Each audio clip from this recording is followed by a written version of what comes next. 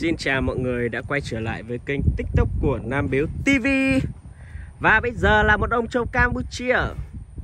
Về Hải Dương được 3 tháng rồi. Ông trâu này ờ, với biệt biệt danh là mắt mại. Vì một mắt ông hơi mại một chút, Ông trâu này được mình mua ở Campuchia trị giá khá là cao. Ông trâu này với ờ, chỉ số 2 xoáy mặt 4 xoáy người, Vòng ngực hiện tại là đang là 2m22 một trong những ông trâu thể hình rất là đẹp Cao, dài, chim cu, mặt, mũi, sừng vòng, sừng đẹp. Với lối đánh hổ lao cáng mồm thì ông trâu này tương lai sẽ là một trong những ông trâu tham gia các lễ hội chọi trâu ở Việt Nam. Nếu có duyên Mọi người nhìn thấy để ý không? Dòng trâu cam mà to như thế này thì rất là hiếm.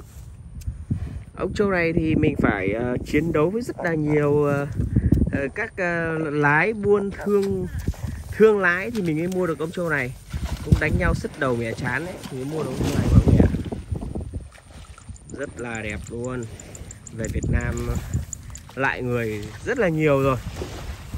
Đấy ra đấy ra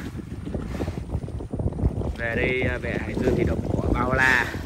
Chỉ ăn với lại đắm bùn này thôi mà béo rất là nhanh.